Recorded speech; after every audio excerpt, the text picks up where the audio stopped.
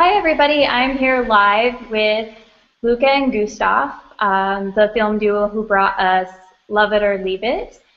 Um, it's a film about Italy and how the young people are emigrating um, to other countries right now to find work. Um, say hi, guys. Hey. Um, you can't hear it so well, actually. no, is it is it bad the connection? Yeah, it, it's like yeah, it comes and goes. Uh, but maybe if I close uh, some other sites, it will be better. Okay. Sorry for this. Okay, it's live. So okay, so um, do you guys want to explain a little about the film for the people who haven't seen it yet? yeah, Italy, love it or leave it. Basically, is a road trip around Italy, and uh, it's a true story which happened in 2011 when I was really fed up with the whole situation going on in my country, and I wanted to leave Italy and move to Berlin. While Luca, who is a Roman-born uh, Italian, um, said, "No, I don't want to go to Germany." But he still understood, you know, why I was struggling to stay in Italy, and so um, as we got convicted from our uh, former apartment, we said, okay, that's you know a, a good chance to give us some time. So we gave us six months, and we made a road trip uh, on an old Fiat 500 around Italy to see whether or not uh, to to stay or leave uh, Italy. Yeah, it was a it was a really great documentary. I really enjoyed it. Um, it actually hit home because my hus I don't know if you guys know my husband's Italian. Um, he's from Cassino, and um, you know right now we're in the United States um, temporarily, but we've been having this discussion a lot on whether or not we should return because of a lot of the things that you discussed in the film. So it was really interesting for like my personal life. It was kind of like watching watching you two with like watching me and my husband. Like the arguments going back and forth for whether or not to to return. Were you the one who wanted to stay, or you were you the one who wanted to leave? Um, I mean, for financial reasons, I was the one that wanted to leave because, um, you know, I mean, it's uh, like a lot of the stuff you talked about. My husband is an engineer, but he was making, you know, he makes a fourth in Italy what he would make in Germany or um, England or the U.S.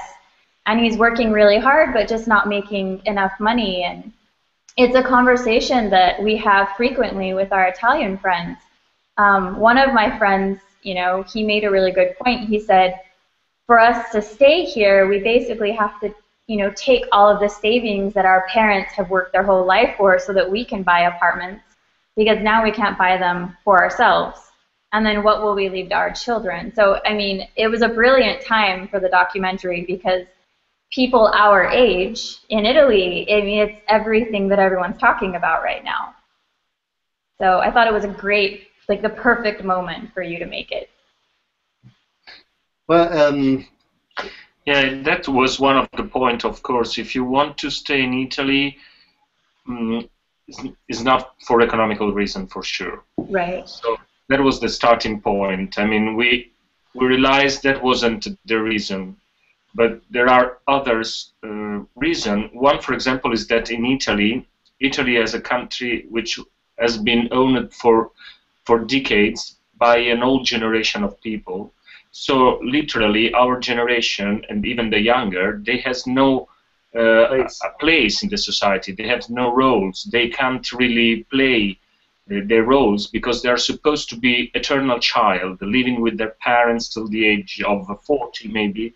So in Italy, you became an adult uh, from 45 years old, which is ridiculous. It's sick in a way, you know. But uh, that was the point. Uh, it's as a young people, can You're you not that young find? Uh. I'm not as young anymore, but but in Italy I am. I'm a teenager in Italy. when when you are looking for your place in the society and you want to push the bottom start to your life because you want to grow up, you want to have responsibility, you want to have your own salary, your own house, you know. And it's very frustrating to live in Italy. That's the reason. But But- despite those problems, which are huge problems, in fact now we have a very uh, high, uh, come si dice, disoccupazione giovanile, um, un- youth and unemployment. youth youth unemployment. It's, it's incredibly, almost 40%. No, can you imagine? Over, over, over 40%. It's, it's really a shame. But despite that problem, there are other good aspects. And with that film, we made this inquiry, traveling around the country, up and down, we, we met people. And those people give us an inspiration. They, they show us how you can try to change this situation, this status quo. Fighting every day is an everyday battle you have to engage, but uh, at least you get results. So we want to, through our film, give inspirations to our fellows, you know, in order to say, stop to complaints about the trouble, let's try together to solve it. And regarding uh, the moment, I think it, it was uh, somehow in the air, but um, and we were surprised that nobody else was doing the film about this issue because with our previous film, uh, which is called Suddenly Last Winter, we traveled around the world uh, to more than 200 festivals, and wherever we went to, we met young Italians uh, of our generation who emigrated, and so we, we, we thought, well, um, I mean, that's that's you know that's uh, a story, and as we always try to do personal stories, stories which are important to us uh, personally, uh, we thought, well, um, as these things were happening to us now, that's maybe the right moment to uh, to tell to make this film. Yeah, no, you're absolutely right. Um, it's everything that everyone in our age group is talking about. The last the last time my husband and I were in Cassino in December, as we were walking through the city, we we must have stopped and talked to at least a dozen people our age, and every single one of them said they were leaving Italy every one of them. Oh, next month I move to Germany. Next month I move to England. Next month I move to Sweden. It was everybody in the city that we talked to. Mm. So I mean, it's incredibly relevant right now. Um, I, I, have a few questions I want to ask you about it. Um, specifically, how how has making this film or these films changed your life personally?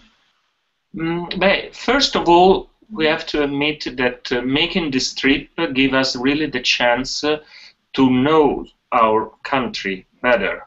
Because, for example, in the movie, there is a moment uh, in the second part of the film when we're visiting south of Italy, and we find out that uh, all of those things uh, who made Italy world famous, you can find it uh, on the south of Italy. You know, the generosity, the sense of the hospitality, the mm-hmm. good food, the, the seaside, the, you know, whatever. Italy's changed a lot in the past uh, 20, 30 years. Now, for example, North, which is supposed to be the richest and progressive side of the country, is not anymore so progressive. It's very, very conservative and is very greedy, and they're very focused on their own money, they're very xenophobic, they are homophobic. In the south of Italy, you can find uh, a very open-minded uh, population made by people who was able to vote uh, twice for an openly gay governor in Sicily and in Apulia. Can you imagine? I mean, if you think no, about uh, south of by that actually. So for us, uh, that was a very great discovering the the possibility to to really traveling through the country, meeting real people, sleeping in their house, uh, spending time with them, uh, and it was such a great experience who had a large impact on our soul in a way. And we are still in touch with many of those characters we met during the trip, of course. And and the other thing is that uh, bringing the film Italy Love It uh, or Leave It around uh, the world, we really met this love that foreigners have to, uh, towards Italy. You know, after the screenings, people just came hugging us and thanking us and saying, you know, everybody has a single experience with Italy. Either you know it's the food, either they had a wonderful a trip. Either they they, they love um, Sophia Loren or they remember movies. So it's incredible what a soft power Italy has. And it's incredible how we Italians are unable to appreciate it. You know, this love that foreigners share for Italy. We don't see what a treasure we've got. We Italians often are blind in front uh, of, of a treasure, and we're always like, in a way, looking for something else while we would have, you know, this incredible potential, we just have to polish this treasure again. Yeah, no, that that's that's really interesting. Yeah, it's true. I mean, the world oh, the world has a lot in common with Italy, especially in the United States. I mean, so many Italians immigrated here, you know, decades ago, and you you can you can hardly meet anybody who doesn't have a great great grandfather who was you know who's Italian. Mm-hmm. Uh, it's a huge part of our culture. You know, it really is. So I mean, that's very true. Um, how, how have your families reacted to these films? Oh, um, very well. very, they, they were They're very, very supportive. They are very supportive. Yeah. They just regret that because of the films they don't get to see us, us very much because we, we travel a lot. So Yeah. That's awesome. and we have such a privilege because, uh, for example, now in Toronto we are in this beautiful hotel, which is not our apartment. I promise you, this is a, an hotel, and, uh, so we are very spoiled. That's the funny side of this work. We, we are documentaries, so we are not raising money. We're not getting rich with them, but at least we have the possibility to, to travel around the world to meet people, and that's a great experience. Yeah, no, that's fantastic. Um, how long did it take to film? The like from start to well, um, the the filming actually uh, we started shooting in 2011 in January, and the last things we did in June, July. Almost. That was about the shooting, but there was Yeah. a long a, a long period uh, of research and preparation uh, yeah, before like finding the money to uh, to make the film. production. That was all over the 2010. Like two years. We, we to make it. started thinking about that uh, idea, and the idea itself is changed along the the way is growing and changed a lot since the initial idea. And then we start shooting on January 2011, and we have our world premiere at the Milan Film Festival in September 2011, where the film got the prize as well, the, the, the Jury award. jury award and the audience award. That was the baptism. And since then, we travel around the world, and the film has been released on theater as well in New Zealand and uh, Canada or Australia or, or Germany. Holland, Germany. So that's have a that was the real change in our life. Uh, and now in the US. Now finally available as well in US in uh, iTunes and other platforms. Oh, that's amazing. Yeah, I saw that there was a there was a lot of people on your Facebook page demanding that the documentary be available in their countries. So yeah, it must be getting rave reviews. And congratulations on the award too. That's awesome. Thanks.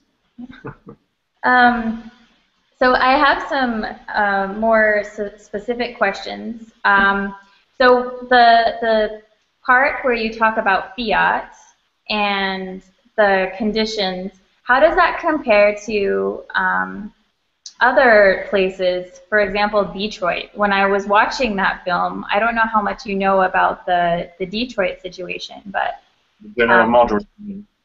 huh?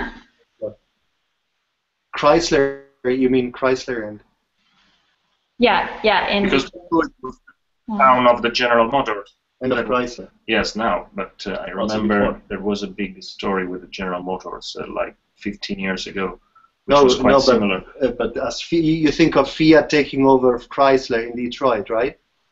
No, I was thinking of the the conditions of the worker. You know, the woman she was speaking about the difficulty of working in the factory, the, the low pay, the long hours. Um, do you think that that's a spe- that's specific to Italy, or do you think it compares to um, other other places that are struggling? Um, No, I think it's a, it's a common story. It's pretty Universal. universal. The problem is in Italy is that uh, our infrastructures are very, very creepy. Uh, the situation for the workers are not easy all around the world, but you have to imagine that Fiat has a great past, and uh, but they they didn't invest in new Well, infrastructures. you don't know that. I mean, there are maybe there are new factory all around the territory, but the one which is pretty famous in Turin, this Mirafiori, it's very creepy. So that's the problem, despite the salary or the crisis, which is, uh, of course, uh, global.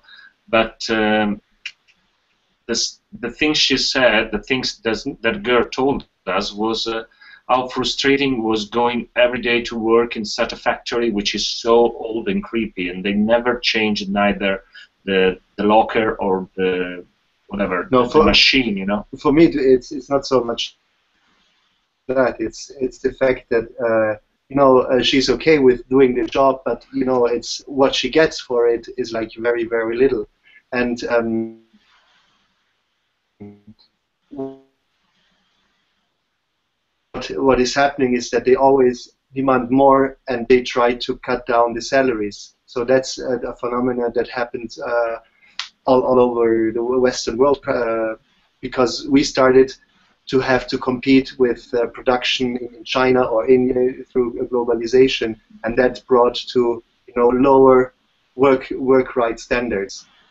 And uh, in, in my opinion, of course, it's it's the wrong path. I mean, if we are Europe, it's because we have workers' rights and not uh, because we uh, have to offer the lowest, uh, the lowest, the lower weights, or like like in China. Right. Yeah. Actually, um, one of my my next question um, was about was about the Mocha Cafe, the Bialetti. Um, with the Mocha Cafe company, it's a product of globalization and outsourcing. Um, what can the Italian people do to stop it from having such a strong impact on Italy? Well, I, I think if they would change uh, the policy on what can be made in Italy, mm-hmm. you know, that would um, change also the situation in a way. Because if you say made in Italy, is everything that at the final part of production is made in Italy, then of course you can do like Bialetti or many others are doing that. You do like 95% of the product in Romania, Poland, or or in China, and you just bring it back to put the last uh, thing on it. Um, so instead of saying, okay, it's only made in Italy if I don't know 65% of the product actually are made in Italy. So I think that would change the situation and probably would also help our economy. Right, because right now the way the law is, I, I might be wrong, but if even if you just put a tag on in Italy, you can still say that it was made in Italy, correct? Yeah, exactly. Which is ridiculous. Yeah, no, I I had T-shirts manufactured in Prato uh, with a uh, with a friend, uh, a partner in a design company that I have on the side, and that that's what we were told. I mean, our stuff was made in Italy, but it was made in Prato, which I mean, you guys are familiar with. It's not it's not the the way Italian things were made, you know, decades ago, um, in that specific area. But yeah, I was surprised when they said, "Oh, you know, you don't have to actually make it here. You can just put the tag on later, and that's fine." I, I was I was really surprised because Italy is is famous for their quality you know? So when people go go after like a made in italy item they really want the item to be made in italy because it's made better you know? I'm not sure that other people can copy that quality even with their best efforts. So um, also another thing that really surprised me um, i had no idea about the sewage thing. Like i i I do a good amount of reading on Italy, but I have never heard that before. That shocked the shit out of me. Like, not intended. But 30 uh, percent of the sewage goes into lakes and rivers. That's astonishing. Is that common knowledge? Uh, unfortunately, not. I guess. but were were other um, other Italians surprised by that? Like, did you get any other comments on that specific? No, not no. no. because they say uh, no. You know, it's so beautiful, Lake Como. So if it's a bit uh, shitty, it doesn't matter. Literally. Yeah. yeah. No, but you have to know there is the sign strictly forbidden to swim on it, but nobody cares because if you see something and it looks beautiful, you don't care of the sign, you know you want to swim because it's beautiful. Italians. Yes, that's our way. I know because I do the same. When I go to the beach, despite the sun, I want to. If it's hot outside, I want to swim, and then I think, okay, I'm not gonna die for once. Who cares? And maybe I take a shower later. and you still have this beautiful skin. Shit becomes. beautiful, beautiful. Um, so uh, I was really happy and also a little bit heartbroken to see the segment about the immigrant workers. Um, in the U.S., there's a similar situation with Mexican immigrants um, being mistreated and abused. Um, I think it's an important message for all people in the world that these people are searching to better their lives, just as our ancestors have done. Um, I thought that that was an incredibly um, important part. And that guy, the guy that you interviewed, you know, he was just a sweet man. And I thought that, I mean, he had a beautiful point. You know, they're just human beings trying to, you know, improve their situation, like so many of us have done. You know, mm-hmm. Italians, Amer- America is all immigrants. You know, and people here they they forget that that there are no that none of us are native. We're all European, you know. Um, so I thought that that was a great part to add to the film. Um, what was that like making that segment? Well, it was more an experience for, for Luca because I uh, had made some like social videos for Doctors Without Borders in that area before, but for Luca it was like his first time he, he has seen something like that in, in Italy. Yeah, it was a, such a shock for me. I mean, I can't forget that smell. You know, in those uh, in those lamps, there is a smell of poverty. There is a smell of uh, uh, sweat, of uh, wet paper, of uh, urina. Come si dice? Urine. Urine. It's it's horrible. I can't believe they have to live nowadays in Italy in such a condition. And you know, that was a cultural shock for me too, because I have to find out. Uh, that uh, Italy is a country racist, but without really know it to be. They don't consider themselves racist. They don't like to say. They said that I'm not racist, but I'm not racist, but but they are because there is a lot of ignorance.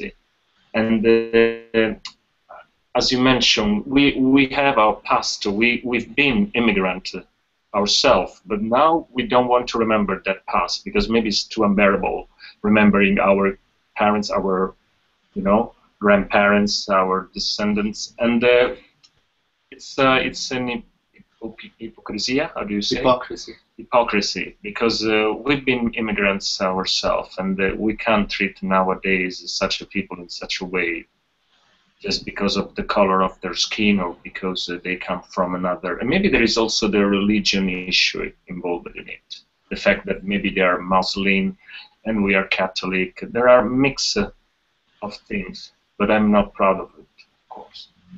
Yeah. Um, I I've written about that before about the the Senegalese workers, you know, the ones in the street who sell like the tissues and the umbrellas and things. Um, it's really interesting sitting down and having conversations with them about um, about their life and how they've made it over. I also, you know, I when I was in school, I went to school with a girl because the reason I, I lived in Italy is a very cliche you know, American girl studies in Florence, falls in love with Italian man, gets married. I mean, it's really like cliche. You know, it's terrible how cliche it is. You like cliches. but what's wrong with cliches? yeah, no, but I mean, it sounds like you're. I'm describing like some kind of under the Tuscan sun. You know, like it's terrible. But yeah, I, I went to school with a girl who was from South Africa, and in Florence, um, which is something I wanna, I did want to talk about. I've noticed the rise in fascism just in Florence. Um, you know, big groups of kids. You know, the, the there's swastikas all over the walls, graffiti.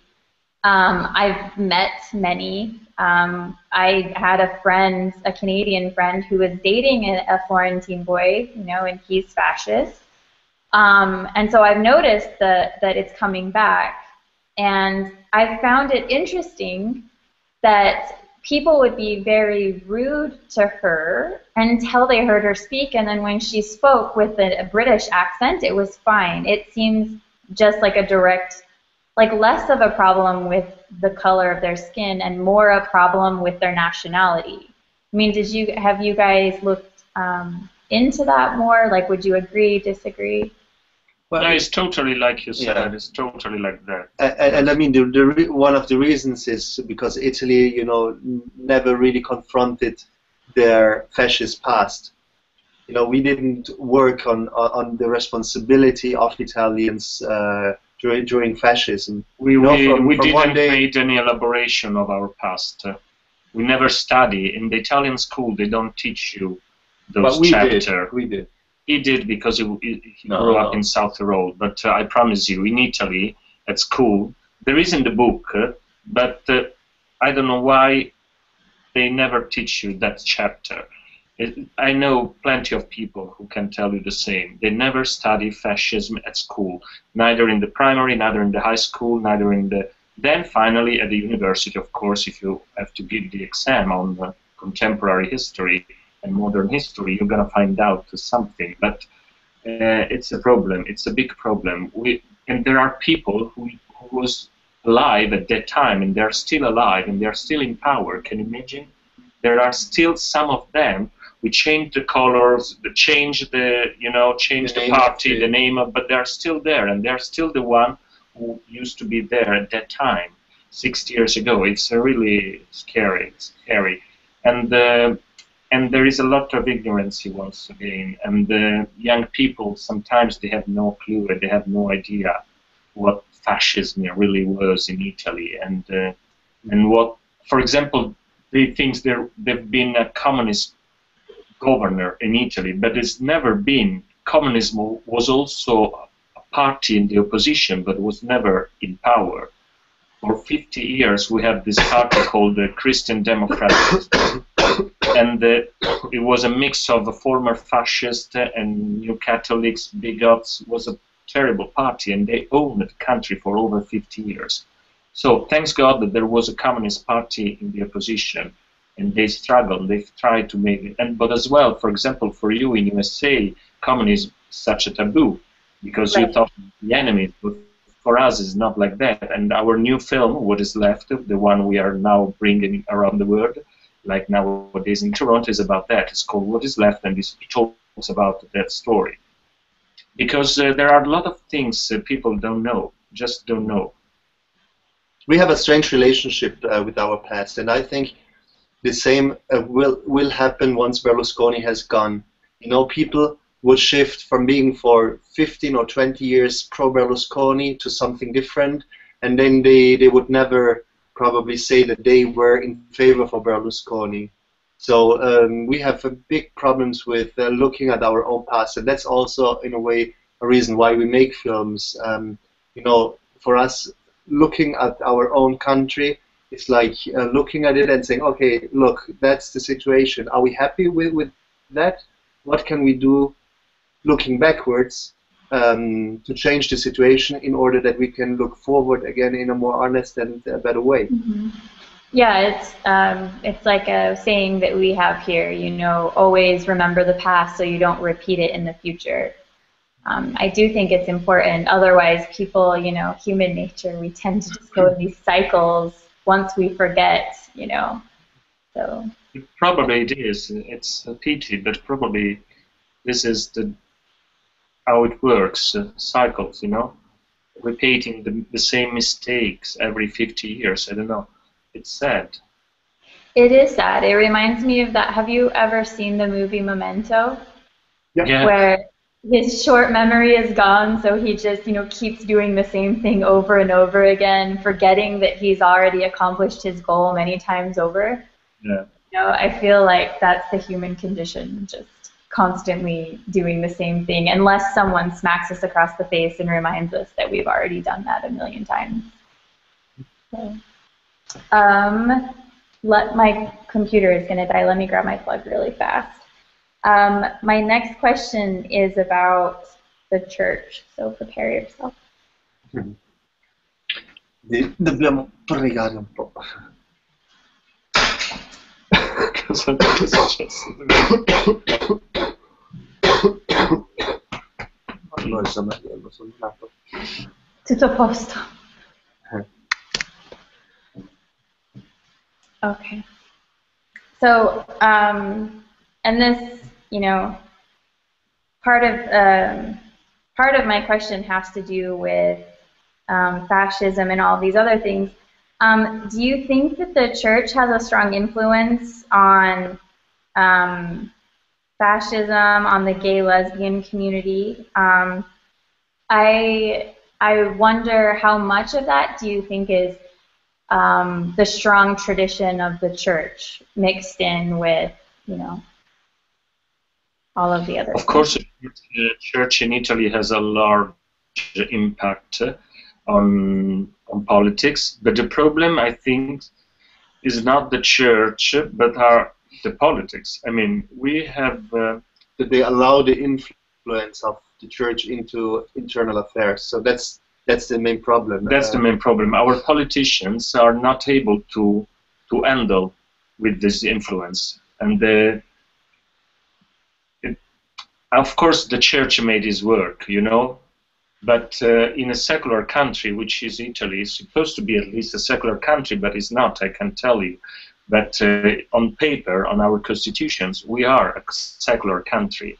But for example, there is this attitude always our politicians they they don't want to do something against uh, the, ch- the catholic sensibility they always try to handle with care you know they always try to be not uh, uh, too tough or to offense the sensibility and that's the problem because sometimes you have to if you want to if you want to do some progress if you want to do some step ahead.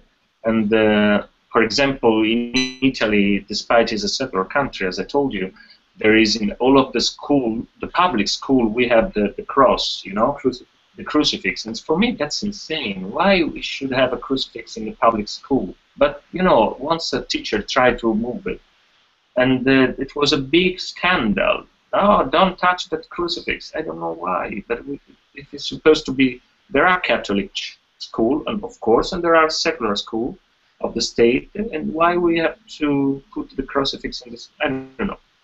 So I think so we are very far from uh, changing this uh, attitude. I'm quite pessimist. And of course, the, the gay and lesbian issue is, uh, I mean, uh, is in trouble for that reason because of the church and because of our politicians. If you think that when we made our first film, which was called Suddenly Last Winter, that was seven years ago, and we told the story of a civil right for for gay people in Italy. The story was told from our point of view because we are a couple now since 15 years, but at that time from eight years. And uh, since then, the situation is not changed. Can you imagine? so we have no civil partnerships or gay marriage or nothing at all. in the meanwhile, all around the world, and I'm thinking about such a place like Uruguay, or uh, you know, or as well in Europe, in, in Portugal, in Spain, and Spain was one of the first, but now in UK as well, there is the gay marriage, but in Italy it's not an issue. Nobody wants to talk about that issue because it's unbearable, because it's very, it's an hot potatoes. Yeah, I um, I have a friend who is in the south of Italy, and he's gay, and he's a politician, and we've we've had this talk a few times about gay rights in Italy, and I was surprised that his stance was that they didn't need it, that they didn't need gay rights in Italy. Um, it wasn't important, and it wasn't something that we should be bothering ourselves right now. Uh, Is that something that you guys hear frequently, even within the gay lesbian community? That's crazy. I mean, that's totally. I thought it was crazy too. Yeah. totally insane because I mean what we have a lot uh, is you know uh, even among homosexuals uh, a lot of homophobia so um, and in Italy often homosexuality is something considered only about sex you know who I sleep with and uh, so I don't have to tell anybody who I am sleeping with. But of course, I, I am gay even though I don't sleep with anybody. So it's an identity issue and not so much a sex issue. And um, you know, it's just an excuse for for them not to do anything, and uh, it's the lack of uh, of character uh, of character. I think you know, not to stand up for and uh, to fight for it also, especially if you are a politician. I mean, that's ridiculous. I mean, how can I trust somebody uh, saying he's a politician fighting for the uh, best, for the common best, if he doesn't accept himself and doesn't fight, you know, for, for his own rights? So. Yeah, well, that's a good point. Um, I, I feel like that is something that is is also very common in the United States. though, um, with the the idea that homosexuality is about sex um, people fail to realize it's about relationships. Um, you know, one of my best friends, her her son is gay, and he came out when he was 12. That has nothing to do with sex. He's not even interested in sex at 12 years old. You know, he just knew that he was different and that he wanted to chase and kiss the boys. Like that's it. You know, at school. Um, so I find I find that is extremely common even in the United States. Um, people just don't understand. Uh, ignorant people don't understand. I mean, obviously, there's quite a few people who do and they support, you know, the equality here. But I wish more baby steps, I guess, for America. Um, and you and uh, while we're speaking of rights, you briefly touched on women's issues. Um, Italy in Italy recently, I've read some pretty shocking reports on gender violence in the country, um, and I was surprised by how how prevalent it is, and yet how little it's talked about. Mm-hmm. Um, did you guys consider adding any of that to the documentary? Was there a reason why you left out some of the more brutal statistics? I, I mean, you know, there are many, plenty of things we left out in our film. In a way, we uh, we had to make uh, a choice. And um, I think it's not that true that it's not talked about the issue, especially over the past two years. Uh, violence against women has been a big issue. And interesting wise, st- statistically, Italy has not uh, the, a higher number of domestic violence than Scandinavian countries have. So, in contrary, Scandinavian countries, for example, they have a higher uh, relationship violence than Italians have. So uh, I hmm. just read this uh, statistics really? a few weeks ago, which which I found very surprising. But of course, it's a it's a very dramatic issue. We have like the, the, statistics say um, one woman killed by her day. partner every three days. So, but now you know the uh, the parliament passed uh, a law on on domestic violence, and so I mean something has been done, and um, this taboo is about to to be overcome, I guess. Okay, that's interesting. Um, I, it's been an hour, and I know you guys are really busy, so we'll tie it up. Um, I just have two really brief questions. Um, one is, in the end, you decided to stay in Italy. Uh, we never reveal the end. spoiler, spoiler. Yes, yes, spoiler, spoiler. I'm sorry, everybody who hasn't seen it. Um, but I have to ask this question because I had a lot of my Italian friends, you know, watch this documentary before I spoke with you to see if there were any questions that they would really want to ask you. And all of them said the same thing. After all of these problems, why did they choose to stay? I have to know. So people who have seen the documentary. I'm sorry if you haven't. well, I, it's you know it's uh, for us it was important the message also. You know, uh, as Luca said at the first part we show all all the problems, but little by little, if you uh, look at what happens in the second part of the movie, you realize that in me something is changing. And then when we meet writer um, Andrea Camilleri, he really puts into words what was happening in my mind at the time. I'm not saying it what he said because uh, people should discover it by their own. Um, and you know, it's really about giving a, a chance to, uh, to, a place, and also, you know, the mainstream now would say okay, Italy has no chance, it's a lost country, there's no hope and nothing at all.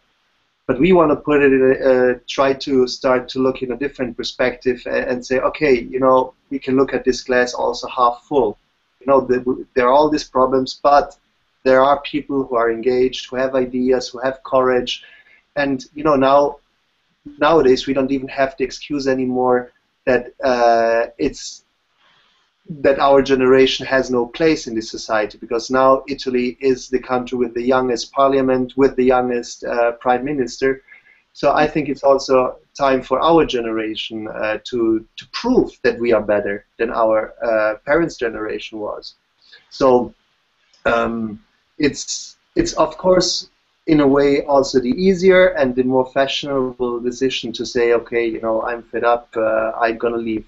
But what we noticed is with all these people who have left after two years that we re-met them again, they started to complain in the same way, also abroad, as they were complaining about Italy just the, uh, two years before. So I think it's also an, an attitude uh, we have. Yes, we like complaining, and as well. Um, we, we when we made that film, that was on 2011. It was the year of the anniversary of Italy. Mm-hmm. Uh, Italian unity. Italian unity, 150 years, and uh, we want to play with that uh, attitude. Why we are unable to protect our country, to love our country, to be proud about. Why all around the world people has a nice memory connected with Italy, and we Italians are not able to protect our country. So that was the message of the film. Let's change attitude, everybody, if we want to save that country. We can't escape, you know. So yeah. it's a provocative message, and uh, we noticed as well that in Italy people were surprised at the end of the film when we decided to stay, but uh, abroad was the opposite the people was uh, glad about our choice and they said of course at the end of the film of course you have to stay it's, it's obvious so it's a different way to see it the same movie because the movie is the same but uh, the people the foreign people watch uh, that movie in a different way that than Italians Italians do it, mm-hmm. it did you make the film with it, Italians as um, you know like your audience were you were you making it for Italians or or you knew it was going to be international? No, we thought of doing a, a more international film. Okay. Uh, we wanted to make a film that speaks uh, to Italians and uh, to foreigners. So that's why we play a lot also with the cliches of uh, of Italy in the film. That and was the challenge to find a mutual, you know, style try to tell the same story at the same time to different audience. So always trying to combine uh, those layers. And of course, the story we told in the film, some of those uh, are very popular in Italy. Everybody knows about the garbage uh, issue. Everybody knows about the mafia issue. Everybody heard about the employer in the Fiat. But of course, maybe abroad, those sounds more exotic. Exotic or more new or more inedite, come si dice inedite? Mm, un unknown. Uncovered. But um, so, it is for me. yes. But that was the challenge. Of we knew it because the film has been produced as well from uh, foreign television and foreign producer, so we knew it. Uh, and we, of course, we hope to, to be able to bring the film uh, to a larger audience. And we are glad the, the film is finally arrived at, as well in New Zealand, which is very far from Italy. yeah, no, I, I think you did a good job with the dual messages. Um, I know that in the United States, people are really unaware of some of the problems that Italy's been facing. Hmm. Um, so I think that you know the brief education on a lot of topics was was really useful, and it was really good for people you know who maybe love Italy or have some connection there, but have never lived in the country long enough to know. Um, I think for for foreigners, it's a really uh, good way to discover Italy in a in a way they wouldn't otherwise, because it's like. Uh, the point of view of, of two Italians, um, give showing them aspects which they wouldn't see in their two weeks uh, travel around Italy, probably. So it's also a way to to get to know the country better. So that was also our aim in doing the film. Yes, our ambition was to upload the, the Update. image, update the images of our country because we were sick of that images uh, connected with our past, always our glorious past. But Italy nowadays is pretty different. Al- always re, uh, linked to Berlusconi. We were also Yeah. fed up of that, you know, that people would always say, "Oh, Italy's so beautiful," or "Oh, Italy, you know, Berlusconi." So Italy is not just that. So it's, I think, it's a very complicated country with so many layers, very contradictory. very contradictory. But uh, I think it's a really a unique and incredible place. Yeah, I would agree. with you. You know, I promise you, it's not gonna be boring. No, the documentary is great. Um, I'll let you guys go because I know that you just, you know, you've got there this, and you probably have so much stuff to do.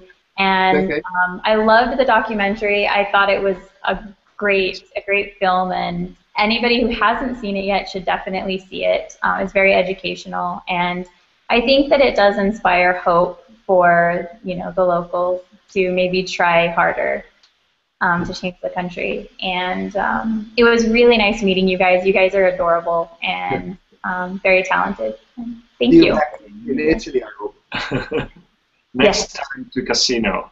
Okay. Yes, yes. No, we'll be returning. I, my mother-in-law will come here and drag us back for sure, for sure. Back. Ciao. Have a nice day. Ciao, Thanks. ciao, buona serata. Ciao. Ciao, grazie. Ciao. Grazie, grazie a voi.